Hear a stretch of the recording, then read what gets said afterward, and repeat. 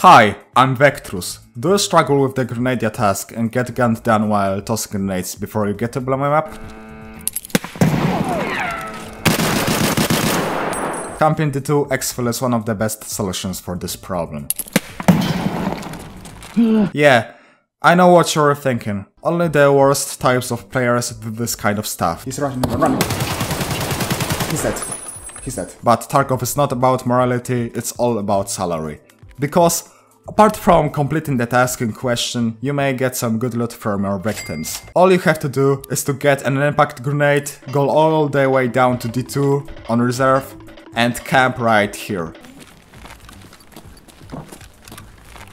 Once you hear someone coming down to you, you just prepare to toss a grenade and throw it at your enemies as soon as they open the door. One of them is uh, alive. Should I check it? They're all dead.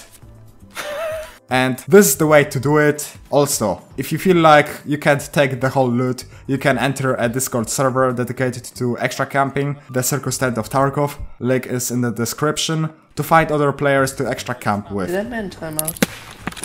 One of them is dead. Two of them. Moving forward.